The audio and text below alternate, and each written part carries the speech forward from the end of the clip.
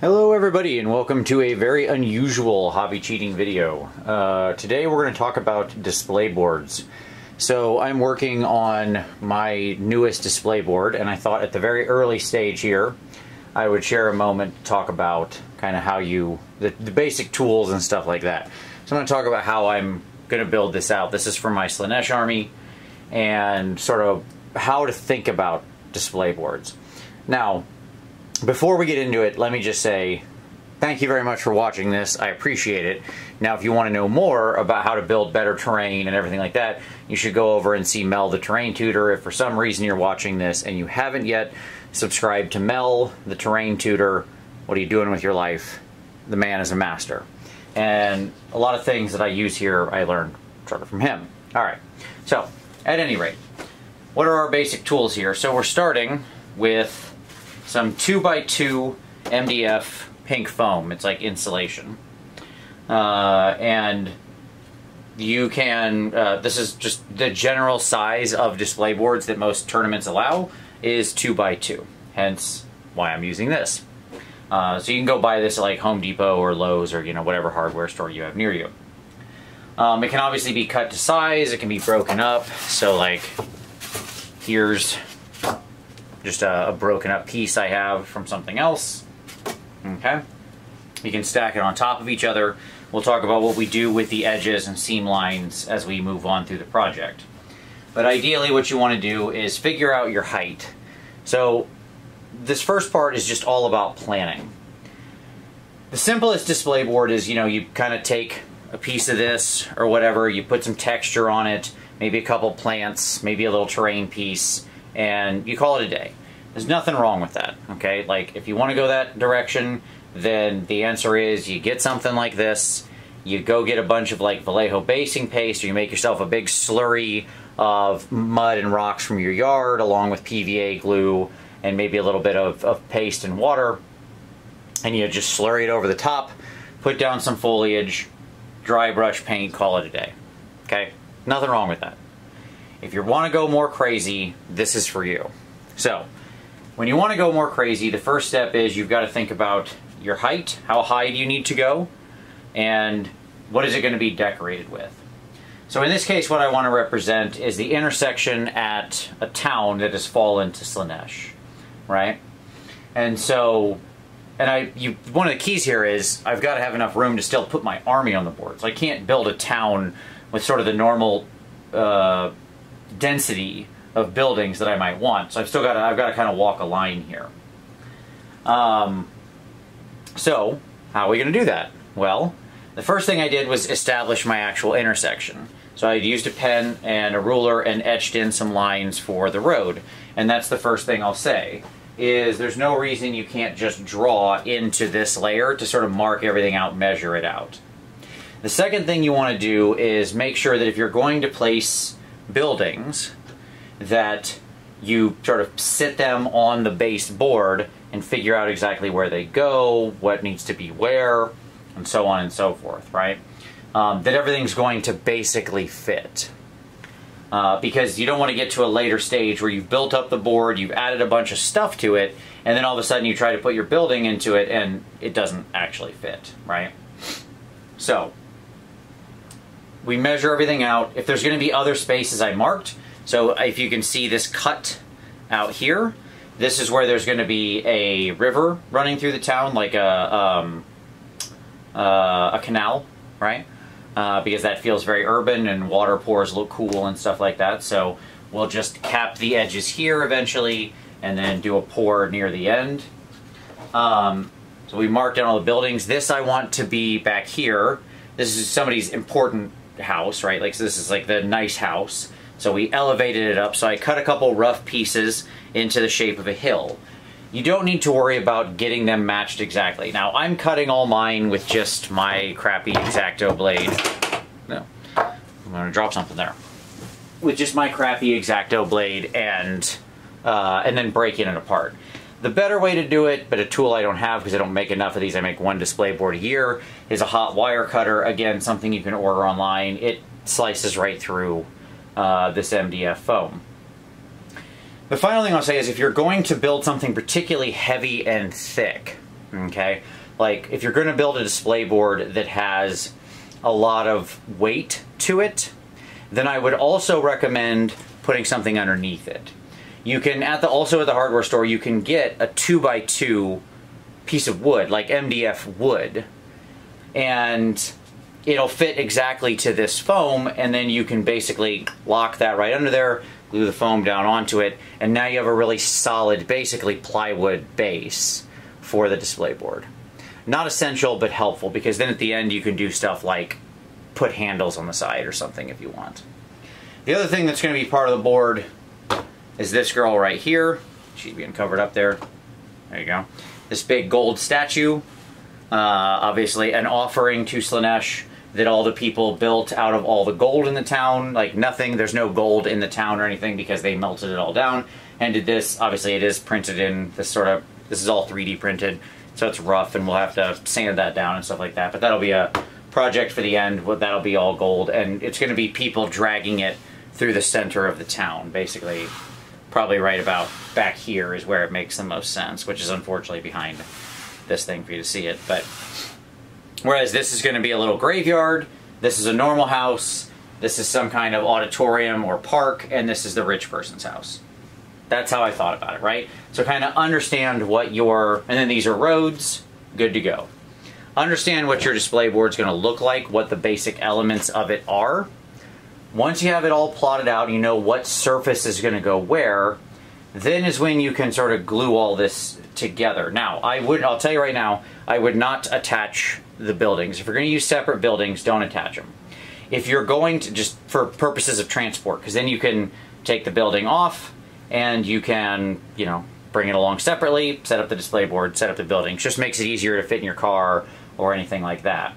But everything that is permanently part of this, hills, rocks, terrain, maybe even like small bridges, stuff like that.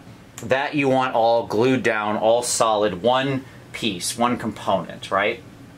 Now, uh, the other thing we'll do when we glue it together is we have little sticks that we're going to actually stick through here, which I'll show you what that looks like when we come back in a minute, to make sure that everything has additional support. So I'm not just going to rely on glue to hold this together.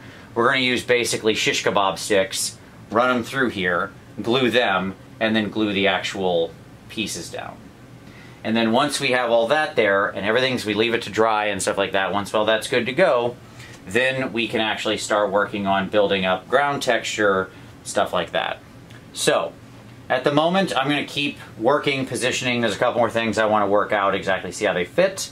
And when I come back, then I'll talk about attaching this all together.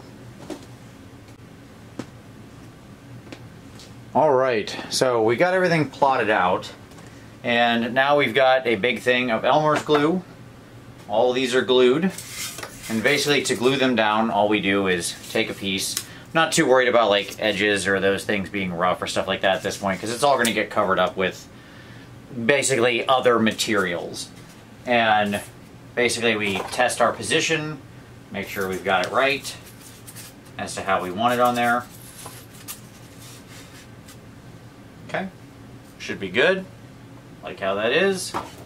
So, then we pull that up. You can see I've used some paint on the back of this one before.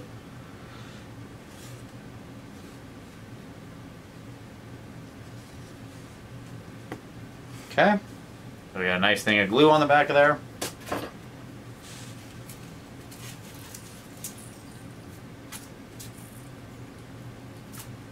Now, note it's real squishy because it's just PVA glue. It's just Elmer's glue, so it slides around and it's squishy. That's why we then have our little shish kebab punji stick things. And what we're going to do with those is then find some spots on the board and basically just drive them through all the way down.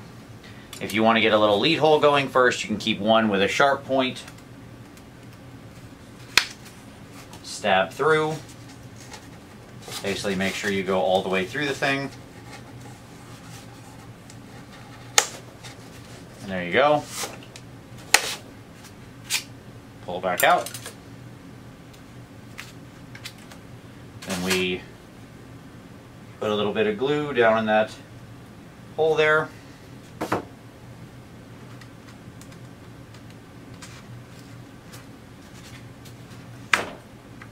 Run that down in there. And then we just give it a nice little want to wipe the rest of that glue. I set my paper towel down when I walked over. Wipe the rest of that off. Come in, give it a nice snip. Cut it down to size. There you go. And what that does, when I put four of these little sticks in, is keep everything even where I want it. So because this will go sliding around, this wants to pop up, it wants to move around. The next, the other thing you got to do is you got to find something nice and heavy. Okay, so whatever you happen to have that's, nice and heavy. So here, for example, I have the bin of the rest of my terrain.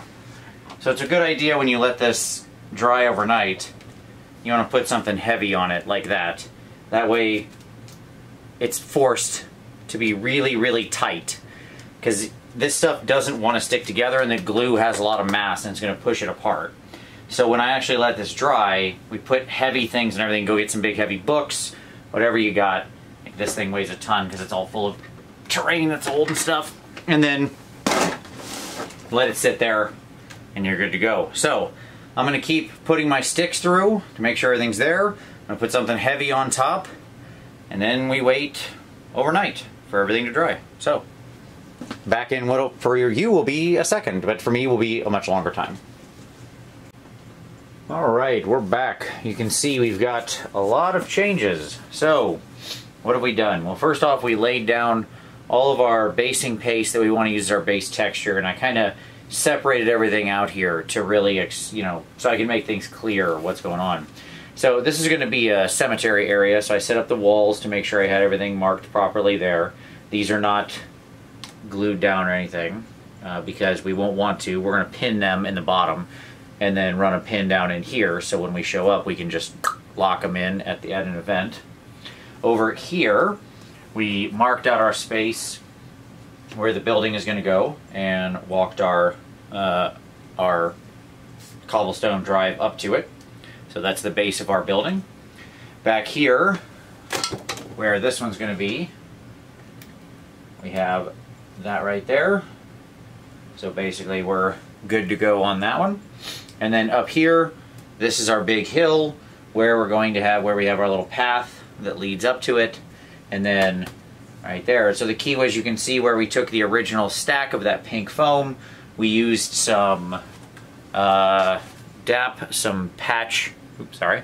There you go, some patch and paint. Uh, this is like wall putty. We puttied around it to build out the hill. And then over top of it, we used stuff like this, which is the Vallejo basing paste. Uh, this one is the earth texture, this is the brown one. So that's all of this back here, as well as up here. I used a couple different textures in different places. Then here in the center, where we have the cobblestone road, we laid out some milliput. Uh, this is the milliput white, which is this one right here, which I really like for this purpose. Uh, and we then used a roller to roll all that out. Also, it's not going to be incredibly visible, but here in the in our channels, see if I can lift this up. These are going to fall, but we'll do what we can. Uh, you can see that there's like some rocks down in here. In fact, let me just pop these walls off. That way I can lift the whole thing up without making a giant mess. Okay. So, here you can see how we made the texture for our riverbed. So we used like four different sizes of rocks. We used some big rocks and then little sand and grit in between. And then we mudded the sides of the walls to get that going. And then on top of that here, I wanted something on the edge of my road, like the bigger stones that would edge the curb. So here we use these big paver bricks and we laid them out one by one and glued them down so that here they're forming a nice edge. Okay. So again, it's just about slowly constructing up that reality. But this basing paste is nice, but it's not everything we want to do. The reality is we still need to add a little more texture. So for that, we have the following. So first off, I have some black battleground, which is just a really nice medium size grit. Uh, you can kind of see the size of that, right? So that's our medium grit. Here we have some bigger rocks. I do not remember for the life of me where this one's from originally. I'm sorry. Um, but you can see this is like my large grit rock, right? And then we have our sand. And this is my old Citadel sand. I actually really liked this. Uh, you know, it's $8 for a bunch of sand. You could go get it from the, the beach if you have a beach near you. But uh, as I live up in the middle of the country and there's no really beaches around, this was a good enough deal. You get a ton of sand for it, and it's actually a really nice ultra fine sand. Like it's really super fine, like hyper ground beach sand. So I really like it for this purpose. So we've got our three different textures here. And right here, what I've done is I've mixed up a slurry of uh, just PVA glue and water, okay? Now in this case, I don't add any paint or anything like that uh, because I'm not concerned about it showing through. The reality is there's lots of different colors here, and all this is going to be quite thickly primed. So, understanding where our, we'll put our buildings back here. That's going to go there. And that's going to go there, being the most important aspects. There we go. Now we can figure out where some of these dirt areas here will be mixes of like grass and sort of dying earth. So where it's just earth, I want to make sure, same back here on this hill, we want to make sure we add some interesting texture. So we're going to lay down just a little bit of that mixture. We just kind of slop it on here. Not knowing exactly what I want to do with the graveyard yet. I'm not sure how many big buildings or whatever I want to have in there. So um, we just want to make sure the pattern is fairly random. Like we don't want to just do four little spots. You want to have things that kind of connect, some things that run up to the edge and so on. Here we'll put some next to the, like next to the path where maybe the grass has gotten kind of stomped down as people walk on it. Again, just think of the narrative of like, what would happen? Why would this not be growing? Maybe here, next to the building here, this would be kind of some dead earth because it's being covered by the sun, right? Like the house is blocking the sunlight. So that's going to be dead. So then what we're going to do, once we lay that down, is we grab a little bit of our uh, thick, large, like our large grit. We just kind of sprinkle that over the areas. We don't do a lot. This is just to lay down some interesting texture here and there. Okay. Then we grab our medium grit and we go a little higher. Here's where we want a little more because we want the medium grit to be the majority of the sort of texture. In other words, we want a few large rocks mixed in and some small sand, but the majority of it is broken up by being this sort of medium grain texture. And by using a spread like this of three, what you see is you get a lot better uh, you get a lot better coverage overall. Then we take our sand and we just kind of sprinkle that over that area. Basically, just think like you're a chef and you're just putting some, some salt and pepper into your dish. That's basically what you're going for. Okay. All right. So I'm going to continue on here. Just keep texturing this up. I might pick a few spaces like on the road. Maybe there'll be some some areas of, of uh, texture where the cobblestones have been broken up or something like that. This city is supposed to be, you know, have been working up until recently when Slaanesh came in and basically took it over. So it's now, you know, in disrepair, but up until recently it was a functional city. So we don't want to make it a complete wasteland, right? Um, but basically by mixing this in, we can start to show how it's falling apart. So I'm going to continue on here, and then when I come back, we're going to talk about, before we go and prime it, what we do with these edges. Okay? So that's where we'll come back next. All right, so we're back. Everything is dry over here. All right, so we've got all the grit and stuff attached. And our bricks are set up, our cobblestone's all dry, we've got our sand, we've got the graveyard completed, so we've got some tombstones and such. Uh, so everything's basically at, that, at this level is ready to go. So we're going to want to pretty soon here, we might you know make a few other small additions, but we're going to want to get this ready to prime. So a couple notes when you're thinking about using this foam. The first thing is don't leave your your sides empty, right?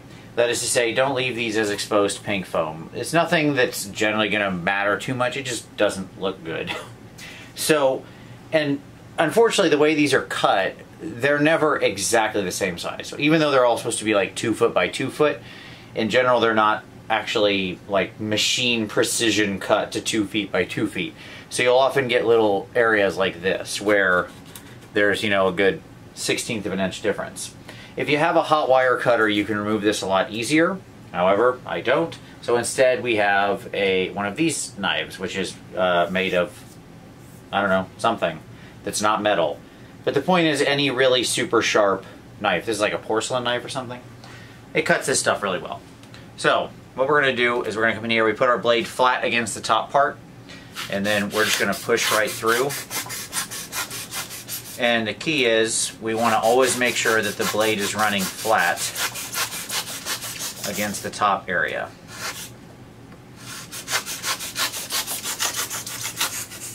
And we just work our way along.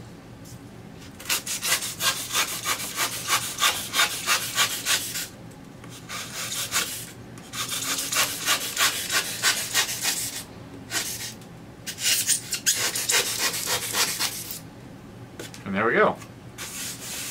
And now we have a nice, smooth, even side, or at least smooth enough for our purposes. So, once that's done, then we need to get this flattened out and ready to paint. So, I'm going to push that back to there a little bit. And we go back to what we had before, which is our DAP patch and paint. So, looks like that. It's like drywall paste. Pretty standard stuff. And we get out a nice flat tool. Get in there, right? So we got a little bit of goopy goop.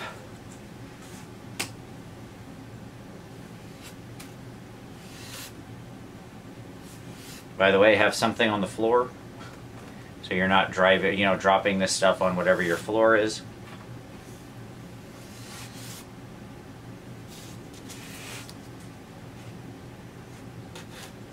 Get that right on there and then smooth it out. That's basically all there is to it. You just kind of work your way along.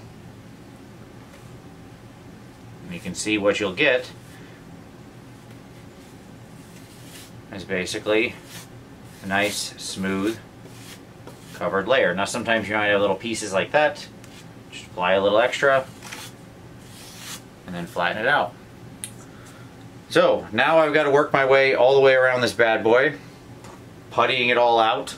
And this will also help us later to have this styrofoam covered because when we prime this, we're going to prime it with a rattle can.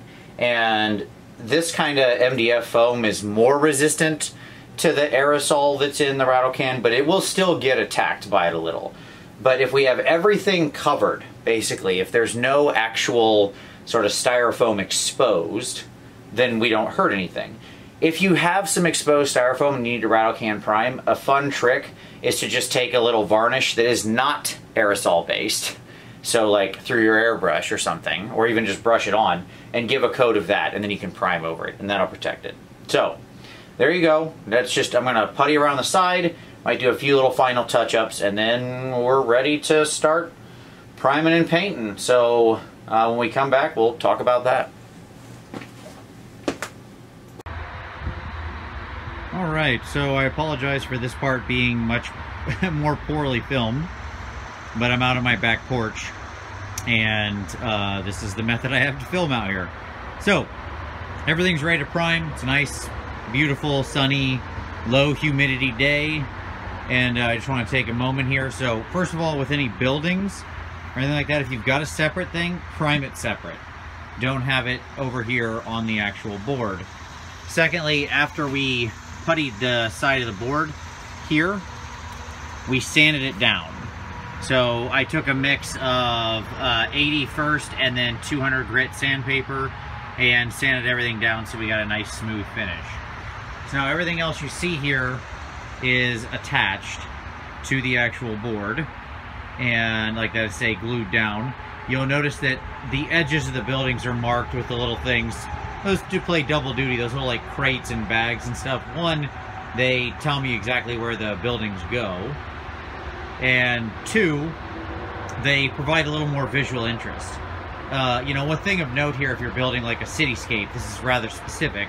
Um, but in general, little details on your boards matter, right? So uh, when you can add little elements of visual interest, like the little brick path, or you see that little like crate or the little step coming out the back, or this stuff down here, it's generally a good idea to do so because it just adds little things to discover and it doesn't really take away from your ability to put figs on the table. So now what we do is we go to some good old-fashioned primer here. This is Rust-Oleum Ultra Cover paint and primer, flat black, that kind of thing. We also have some lighter colors. So this is granite, like a gray, and this is fossil, I guess. I don't know, whatever, this color. It's a lighter color. The point is, is that just like normal, even with our rattle cans, we're still to zenithal. So, now I'm to get to work priming all this, and it's a lot of spray paint. So, with next time you see this, we'll be back on the normal camera, and uh, we'll talk about some painting and how we finish her up. Alright, so as you can see, we've made a lot of progress since the last time, but this is mainly just painting. Once everything was, you know, sort of done and sealed, I just painted it. Um, I didn't really record much for this because there wasn't anything special about this part. If you've watched any basing video I've ever done, then you're familiar with the methods I use to paint it. So, you know, we have, we're just laying down a brown color, we're using dry brushing, we're using washing on the dirt. All the cobblestones were done in the same way as my cobblestone basing video, uh, which I'll link below. Um, the red bricks were again just laying down a nice red earth color and then stippling some colors in, dry brushing, and then putting a glaze over top. Uh, the various stones were done in different colors, uh, just as per the realistic uh, stone video, just matched to colors that were appropriate here. Uh, the wood was done with uh, scale 75 Inktensity intense wood and then washed and dry brushed with, or dry brushed with a lighter gray and then washed again and then dry brushed again. So in other words, you should notice that most of this is just done, I mean, these cobblestones took forever, I'm not going to lie. This is like a really lengthy process because every single stone had to be done individually. So I had to paint each stone like basically four times. So that was not fun. But that being said, it's done now, so yay. Um, the rusting over here, the metal grates, that was done as per my uh, rusting and weathering tutorial. Uh, and the bone, you can't see much of it, but there are some, uh, see if we can turn it around here. There are like some, some skulls and stuff in here because it's, you know, it's a GW piece of terrain, so of course there's skulls. Uh, so all those were done as per the realistic bone video basically I just followed all the normal tactics that I do for this stuff. And at this point, it's more or less ready for our next steps. So I'm going to finish some very final painting. I just wanted to give you an image of it, of where I'm taking it before we go to finishing. Because obviously I don't have the buildings on right now, but you can see where there are holes marked for them. Um, what I want to do as my next step is a couple different elements, one of which is placing things like flock and static grass and tufts. So I'm going to talk about the tactics that we use with those, especially on display boards to make them look good. Uh, I'm also going to then do the realistic water here poured in the canals. Uh, I one of the one of the quick things I wanted to say about that before we before I poured anything is here in the canals. I want to make sure I stay in the light here. You know where I cut this away, there's a join between this layer like this top of the, of the original MDF and the lower one. So I glued all around there and, and dropped a bunch of glue down inside, but there can still be a gap there. So what I did is you can see how this is kind of white in some places. What I did is I actually took some varnish, like just some, uh, basically a bottle of, uh, of cheap varnish, and I just laid it all the way around the edge, just straight out of the bottle, just glooped it in there, nice and thick. So it soaks in and seals up that crevice, right? Just to make sure that there's nothing. So when I do pour the water, this is a this is an area that's a, that's actually sealed. Uh, obviously, we'll have to seal off the end uh, when we do the actual pour, but we'll get to that uh, in a later part. So with this being said, it's basically ready to go for our uh, for our next steps.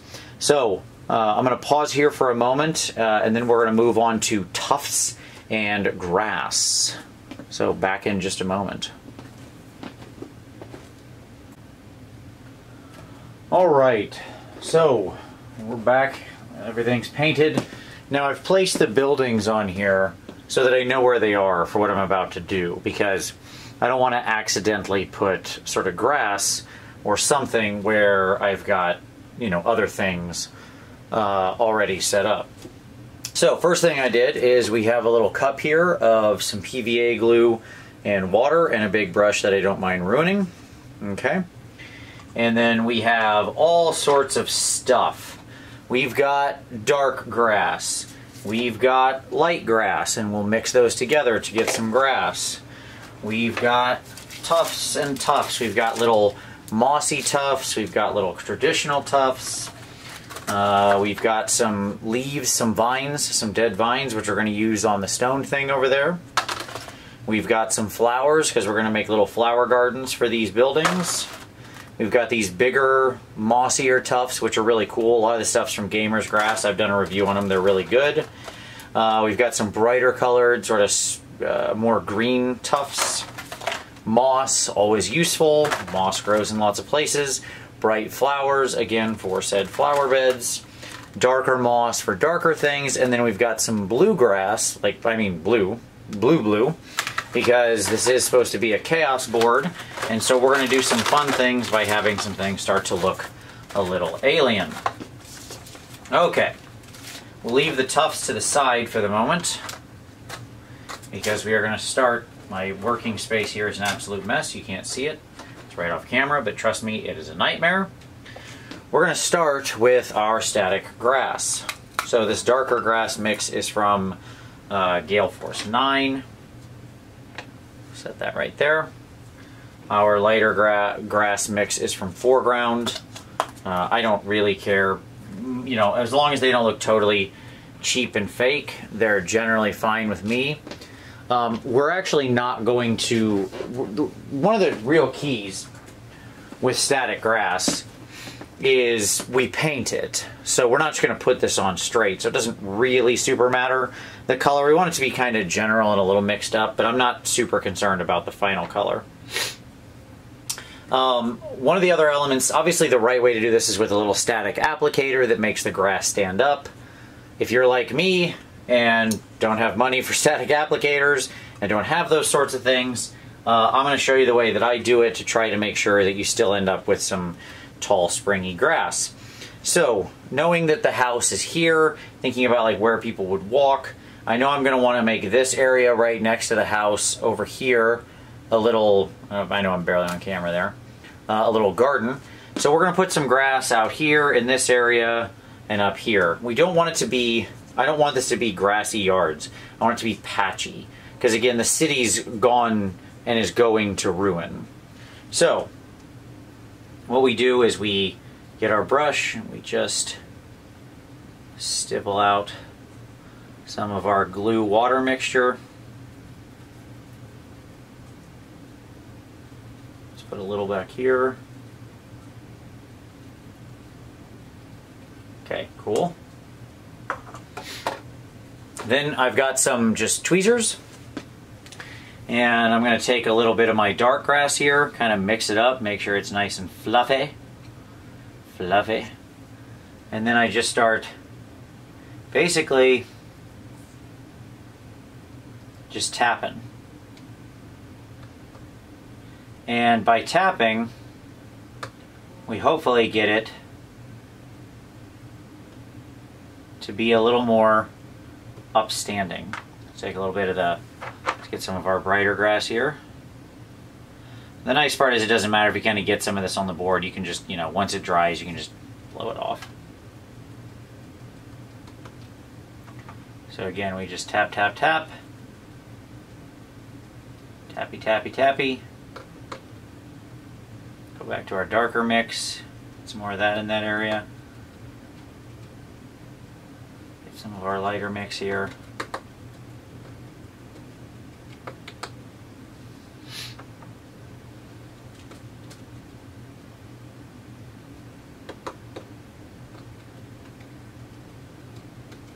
Okay. We're always going to put more on than we need and then we'll just pull the excess back off. And that's fine. We're also going to varnish it all down at the end to make sure that it all sticks and stays. Okay? So what we get is a nice little mixture of grass like that. And like I said, we're going to paint it, we're going to varnish it, so we're not stopping there. Okay.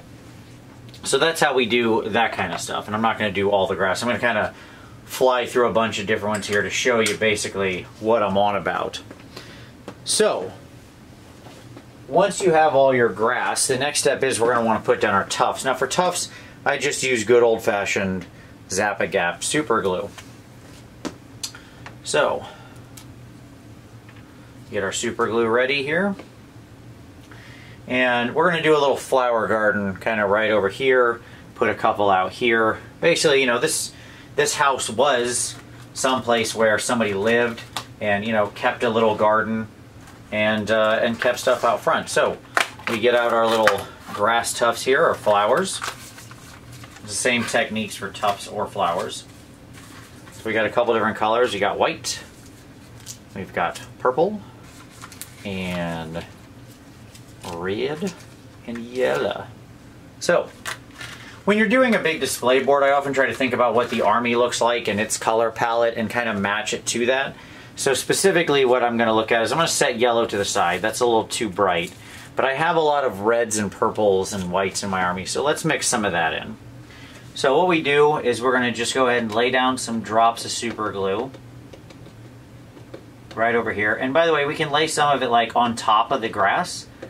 Layering this stuff is actually a really nice trick to kind of sell the, the depth of it because often there'll be nature that kind of gets in each other's stuff. And that's fine. Okay? Then we take our tweezers and we're going to go ahead and pull off a tuft. And we find a spot where it looks nice. We go ahead and we lay that up in there. Then flip those tweezers over so you got the pointy ends or whatever, you know, like this is a little L-shaped one. If yours is just a standard tweezers, just make sure you come in with just the points, push it down, make sure it's nice and attached, and you're good. And we keep, we grab another tuft of that color.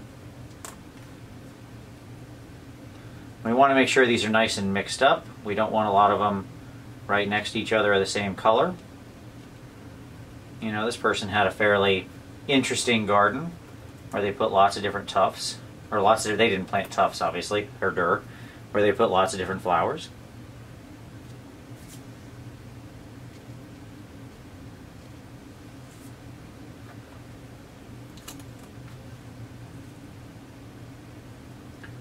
we just keep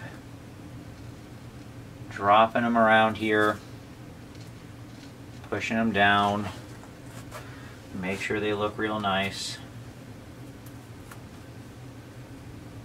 Let's get another purple one like right there. That'd be a nice place. You just kind of want to make it a little random, but just spice them around to your heart's content. Let's get some of this like super bright red. I really like how this looks. Again, all these are going to get a little bit of paint, so we'll change the color a little bit.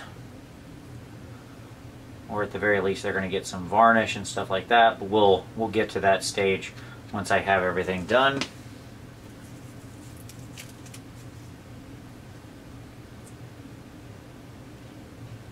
But you can see how much brighter those are. Look at how that just perks that right up. Here, let me. Okay. There we go. Okay, let's grab another tuft here.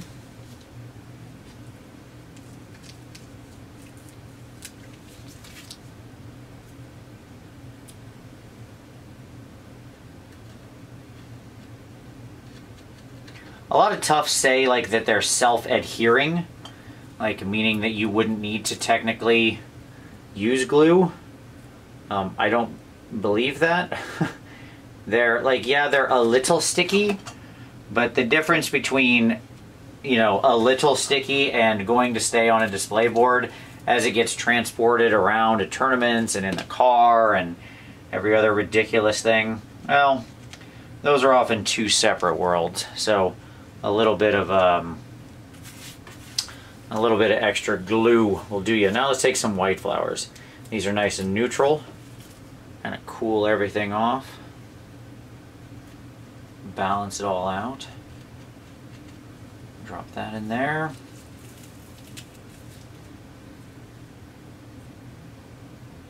Let's see. How about like right down in there. There we go break that up a little. I'm just picking off the tufts I like that I think look cool. And if you got a little bit of extra glue or something, don't worry because we'll varnish over all of it. And when we do, that'll all, all the shiny glue will go away. It'll just become invisible.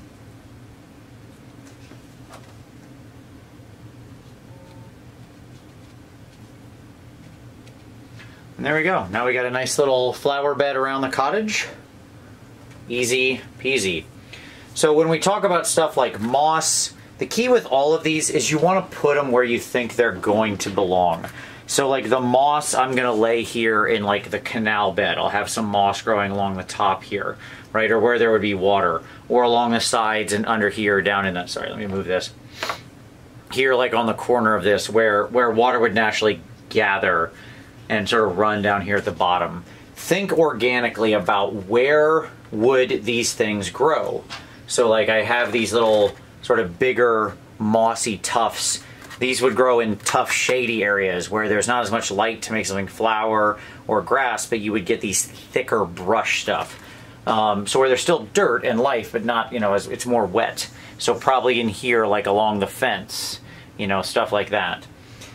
These also look really nice for a graveyard. So you can kind of mix and match and get all your stuff into a position where it feels like that's where it actually organically belongs. The more you place stuff like this in, in an area where it's going to, like, when somebody just looks at your board and goes, oh yeah, sure, like, this house had a flower bed and has a yard, right? The more you do that kind of stuff, the more it will ring true to your viewers. Okay, so I'm going to carry on. I got a lot more little tufts and grasses to lay down, and uh, I'll be back and I'll talk about how we paint them. Back in just a moment. All right, so we have all of the grass and tufts aligned. I took the buildings back off because for this next part I don't want to accidentally be painting the buildings. So you can see like how we've got tufts, you can see where we fit in some uh, you know, sort of more mossy stuff over here in the graveyard. Uh, we've got tufts and things down in here. So you can see how that looks with some tufts and some blue down there. Though that blue will look cool in the water. I like the idea that the sort of chaos infection kind of came in through the water. Um, but a lot of these just look very flat, right? Like if we look at this stuff in here, like these, they're just very flat. Um, same with like the blue tufts. They're cool, I like the color, there's just not a lot going on. So, fortunately, we can fix that. Uh, and we always paint our tufts and our grass and everything like that because unpainted elements always look very false when put next to a bunch of stuff that's been painted. So even just applying a simple wash or a dry brush makes a really big difference. Uh, so we're going to take ourselves a little dry brush here. In this case I'm going to use a flat one instead of a makeup brush. Got a little uh, little ivory over here on the on the palette out of camera. I'm just using uh, Pro Acryl Ivory.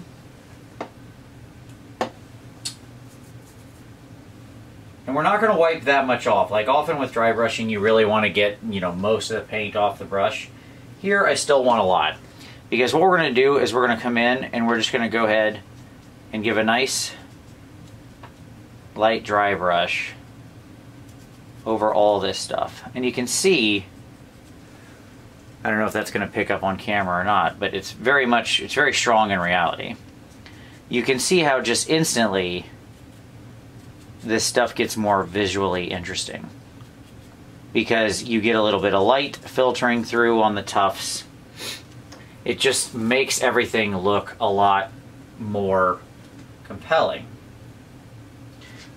So again, we'll get all these down here. And so on. Just quick touches, quick touches. You know, just kind of catching that stuff.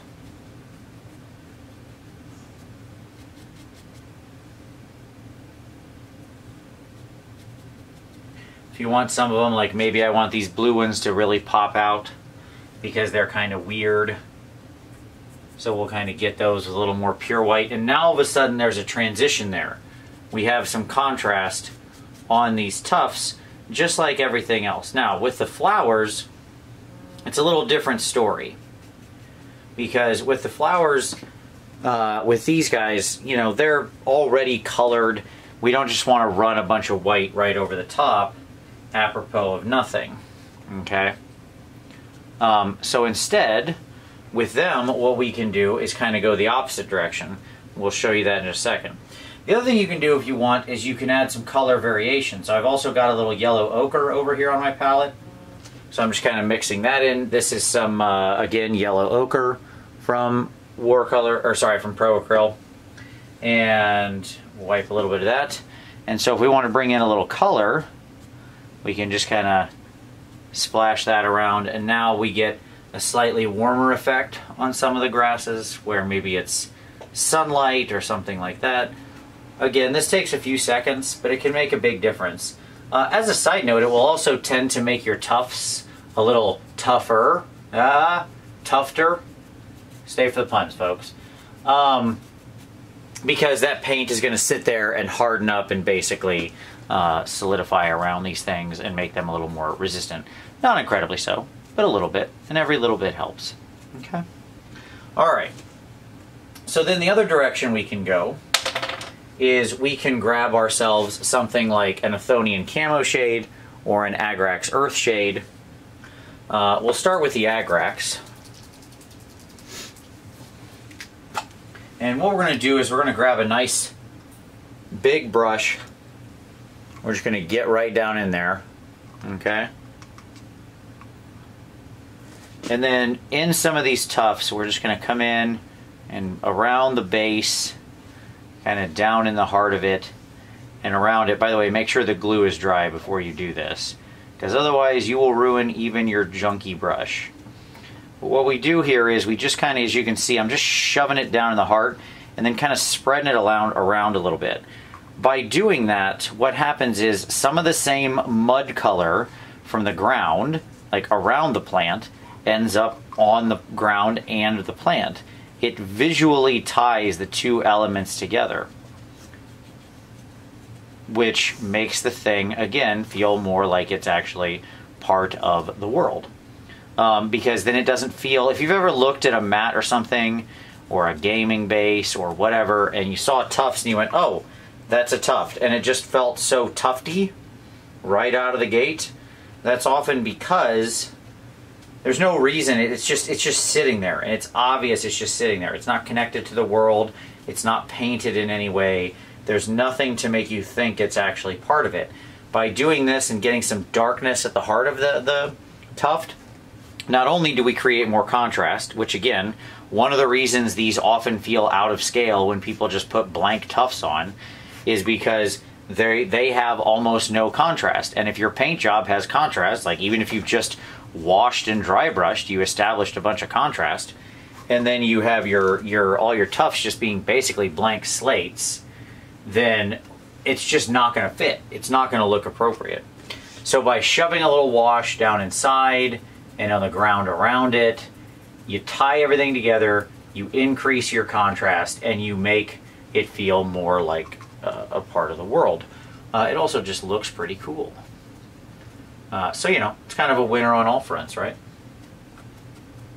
Okay. All right. Drop a little bit in the center of each of those.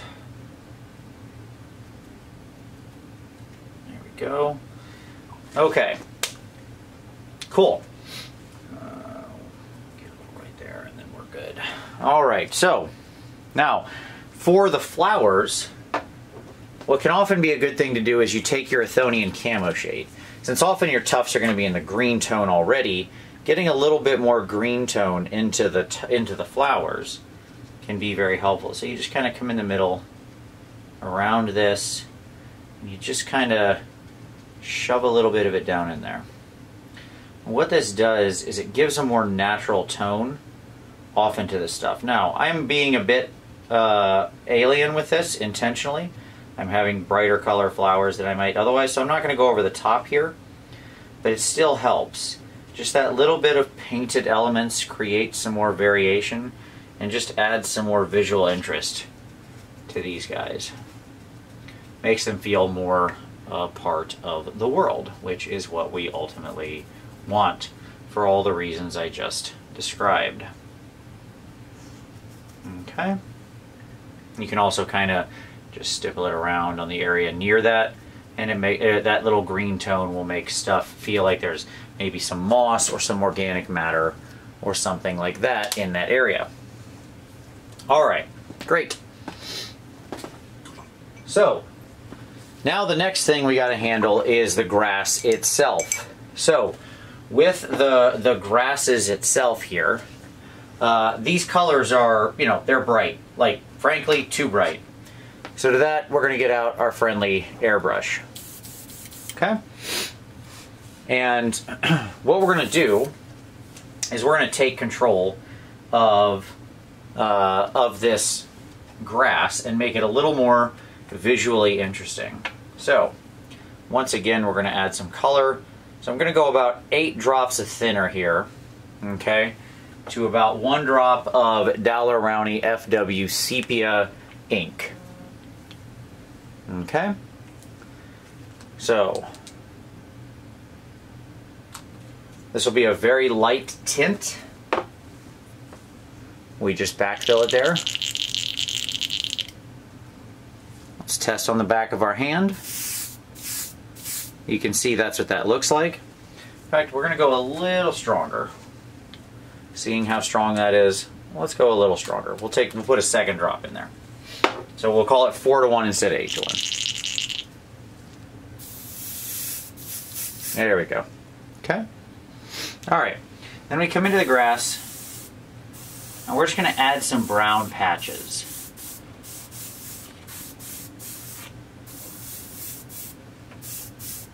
over top of the two that I already did. I'll go out onto the dirt every so often, so I'm not going to try to just hit the grass. So again, just like with the tufts, when I'm running a shade over the top and it's going between the two, it's going to make it feel more real because all of a sudden there are elements connecting these two things. It's the smallest little visual signifier but believe me when I say it makes a huge difference. Also, these brown tones will just really nicely tone back grasses. A lot of times, especially, these grasses, they just kind of feel a little too bright, like a little too spring day. It's a bit nonsensical. And again, it's a little bit of paint sitting on top of it, so it will also help it feel, uh, it'll also help it stick We'll varnish at the end too, which will help with that more. Again, if you use multiple types of grass like I do, this is effectively a glaze to help bring them together.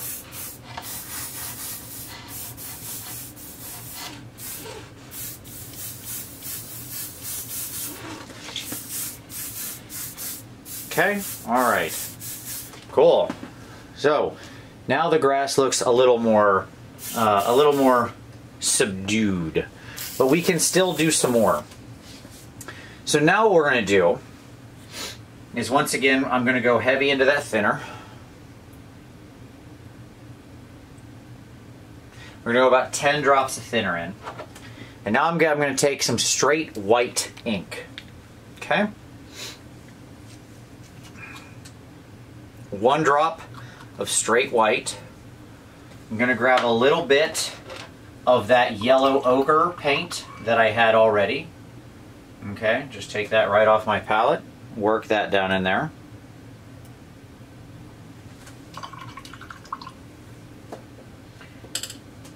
And what I'm going to do is just go ahead and mix that all up. So I get this creamy egg color, right? And we'll give that a test on the back of the hand. That's about how much that covers, right? So that looks good. Okay, then what I want to do is come in and on the grass, just create some nice highlights. And I'm going to go ahead and just rock the brush at an angle. I can get some of these flowers too while we're at it. Just trying to create some little points where sunlight is catching things and creating the little hint of sort of yellow-white light. You've ever, you know, sort of just spent a lot of time looking at the sun, you know that like or sorry, not looking at the sun. Please don't spend a lot of time looking at the sun. If you ever spend a lot of time just sitting out on a nice sunny day, looking at grass or your yard or something, you know that grass is like, you know, it has a bit of a satin sheen to it. It can shine a little. So adding these little hot spots here are a good way to sort of capture that sun filtering through and being uh, being captured by occasional reflective or wet pieces of grass or something like that. Yet again, it toughens it up. Yet again, it brings your different colors of grass together. Yet again, it creates more contrast and visual interest. I hope at this point you're catching on, folks. Okay?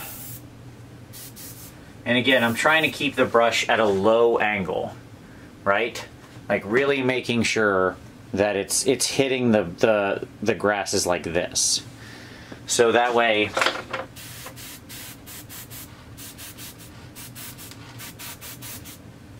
I'm only getting the tops, trying to be aware of what I'm shooting from behind.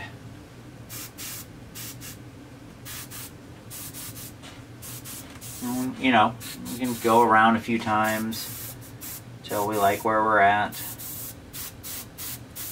brighten up some of those flowers a little bit. Let's get some real bright things here since this is going to be underwater.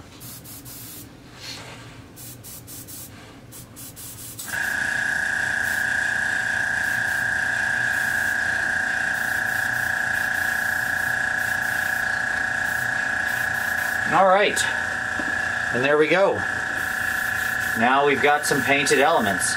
Uh, so the final thing I'm going to do here is uh, just go ahead and varnish all of this.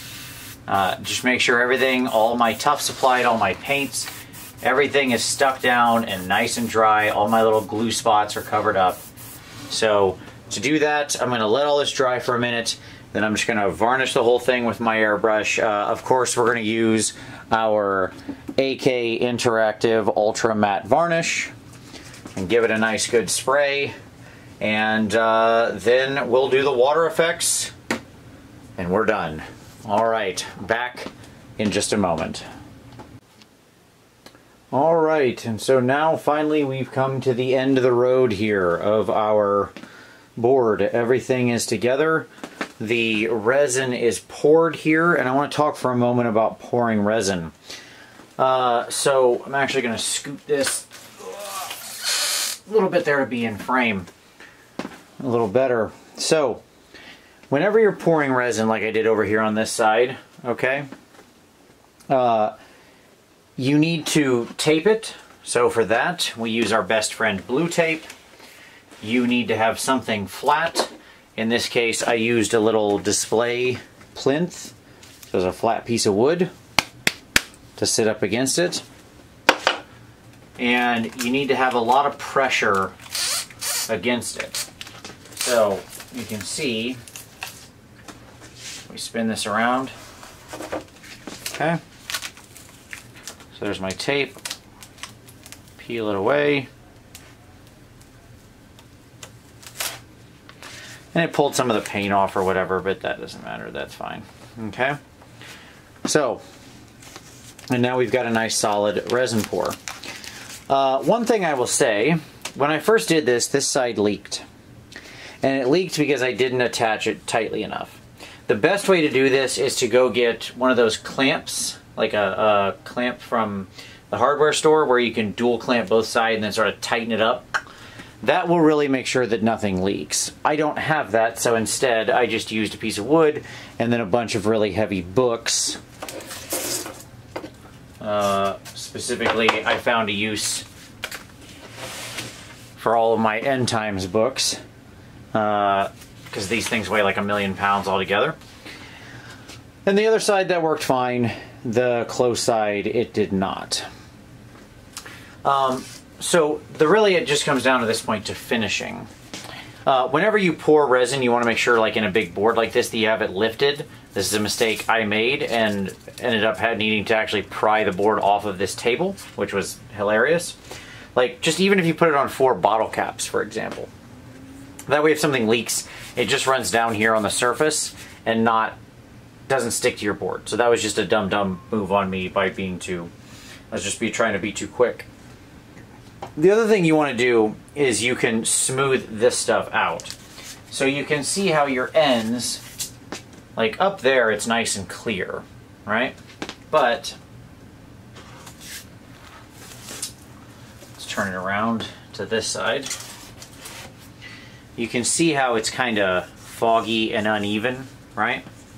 Right there, okay? I don't know if that's actually showing or not. It's kind of kind of dim, but I assume it's showing. So what we want to do, what we want to do in that case is we get out our very high grit sandpaper. Uh, by high grit, I mean low grit. I don't know. It's 800, folks. Okay, so you get out some 800 sandpaper. I get this from the auto body store. So nice piece of 800 sand grit. And then we're going to come in and we're just going to smooth that down. Okay. And what that'll do is that'll allow us, it's to scratch it up. Don't worry about it. It's fine. Okay. Because you want it to be nice and flush. Same thing, you can start a little lower, honestly, like you can start like 400 if it's already, if you've got a, a lot more, you're doing like a display base or something, work your way up to 800 or 1000.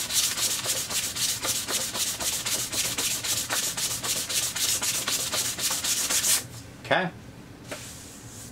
Now it's nice and smooth. Once it's nice and smooth, we can do a little wet sanding as well, whatever you want. But once it's nice and smooth, we just give it a nice wipe there to get all our dust off. And then if you need to smooth it back out, like if you've left some uh, some scratches or anything like that because of your sandpaper, that is just a simple matter of your old friend gloss varnish. So, we take a little gloss varnish, I'll actually put it on the back of my hand here. And gloss varnish is like your stand-in for your water effect. So once you know you've got it all wiped away, everything like that, you got no dust, you can just come in give that a nice coat. And you can see how that fogginess just goes away. and what you get is a much smoother vision. Like I can see those rocks nice and clear now under there, and you're good to go. Okay? So that's basically all there is to it. At this point, uh, obviously I'm going to repaint the side, so I'll redo all this with some heavy black paint, some craft paint, just to make it nice and tough. Uh, I'll probably add a few other little details like some blood stains or something like that around. But basically, that's it. That's the display board done and in the books. Whoa, what a long road this was. At any rate, if you happen to stick with me through this entire thing, first off, amazing. Thank you. Uh, I appreciate it very much. Uh, but uh, I hope this is useful to you. I know this was uh, a very particular project of mine, but at the same time, I hope some of the tips and tricks and thoughts will be useful to you in your own uh, display board making. Uh, at any rate, if you like this, give it a like. Uh, subscribe for additional hobby cheating. We have new videos here every Saturday. If there's something you'd like to see me cover, uh, feel free to drop that down in the comments. If you have questions about this project, again, drop those down there. Always happy to help. Uh, but as always, I very much appreciate you watching this one, and we'll see you next time.